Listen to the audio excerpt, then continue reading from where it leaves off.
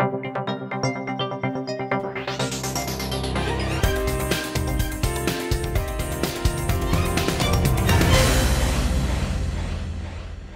շփաթ Նորամուծություն կամավորական աշխատանքի հետ կապված, ինչ կարգավորումներ են ներդրվել։ Փոփոխություն ի օգուտ աշխատակիցների այսուհետև որապահի կվճարվի նաև մեկօրյա գործուղումների դեպքում։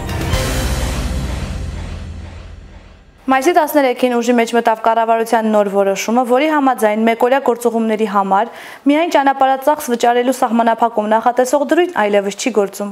Գործատուները պարտավոր են եւ ճանապարհածախս եւ օրապայիկ վճարել աշխատակցին նրան նույնիսկ 1 օրով գործուղելու համար։ Մանրամասները Աստղիկ Կարապետյանի ռեպորտաժում։ Կառավարության ապրիլի 27-ի որոշման փոփոխություններ կատարվեցին ծառայողական գործուղումների մեկնած աշխատողների գործուղման ծախսերի հատուցման վճարման կարգում։ Նախկինում գործող կարգը մի շարք խնդիրներ էր առաջ բերում մեկօրյա այցով գործուղողների համար։ Իսկ եթե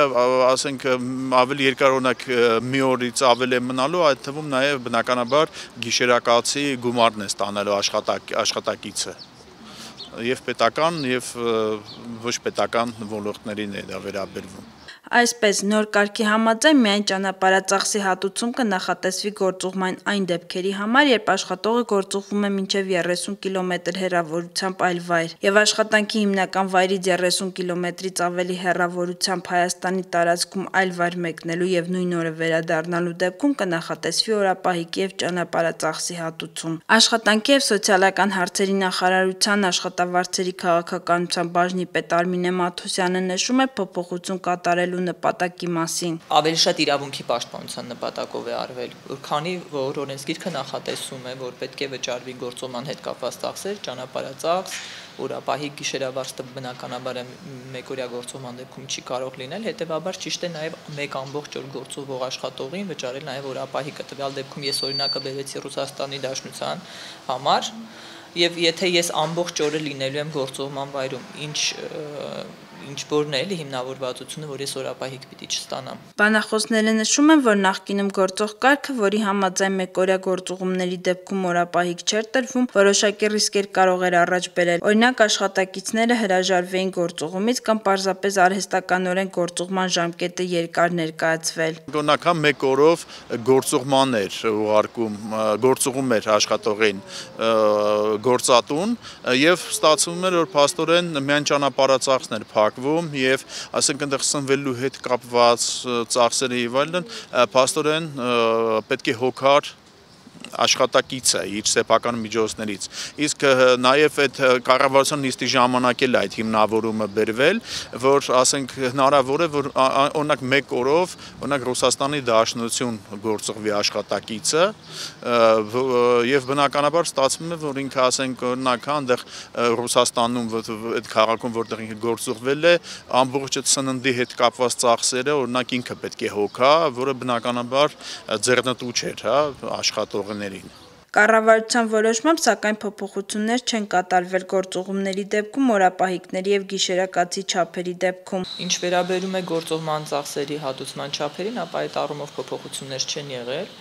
եւ օրապահիկի ծախսի չափը Հայաստանի Հանրապետությունում եւ Լեռնային Ղարաբաղի Հանրապետությունում 3000 դրամ է, գիշերավարձի նվազագույն չափը 5000 դրամ, ԼՂՀ տարածքում առավելագույնը 15000 դրամ, Հայաստանի Հանրապետության տարածքում 20000 դրամ, իսկ Երևանի համար 25000 դրամ։ Գործոման այսքան հատուցման չափերի փոփոխություն չի եղել եւ առաջիկայում չի նախատեսվում։ Մասնագետները նշում են, որ այս նոր որոշումը կնպաստի թե աշխատանքի կազմակերպման, թե ֆինանսական միջոցների կառավարման արդյունավետության բարձրացմանը։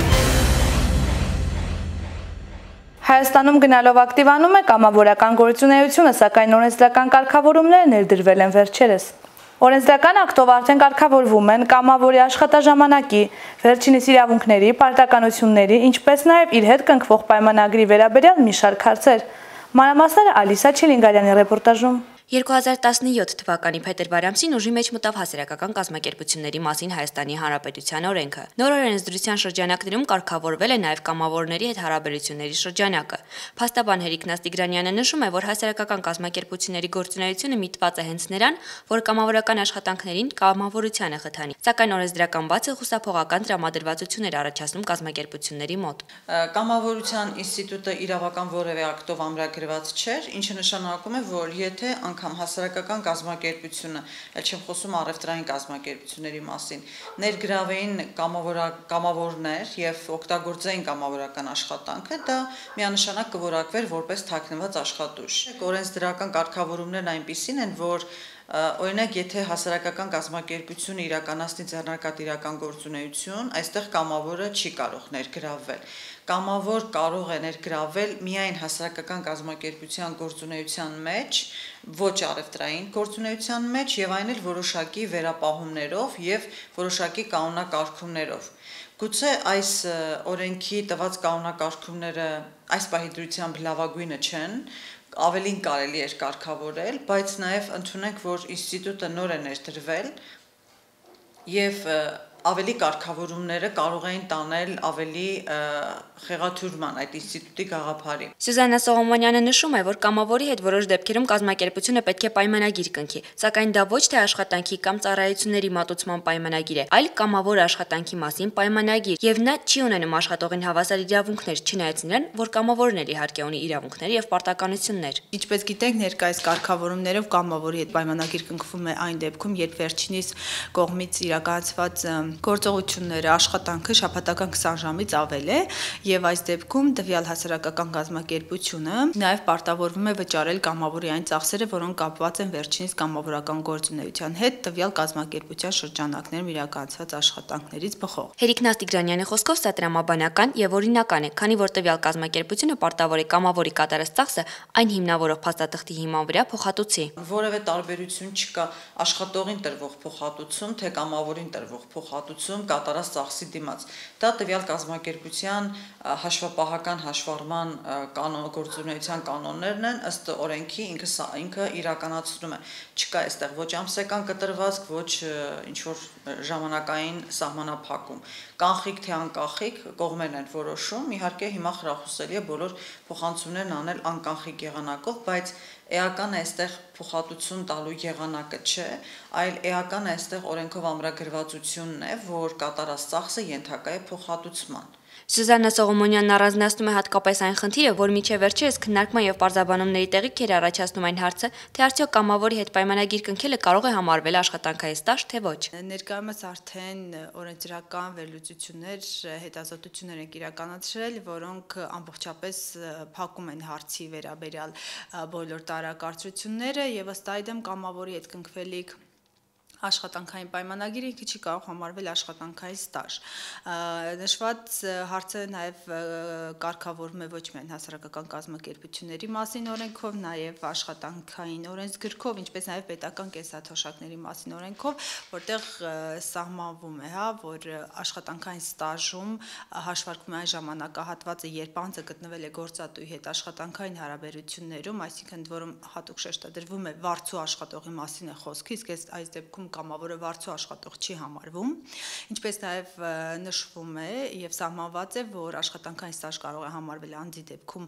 այդ ժամանակահատվածը այն դեպքում, երբ վերջինը ստացել է աշխատավարձ եւ վճարել է եկամտային հարկ։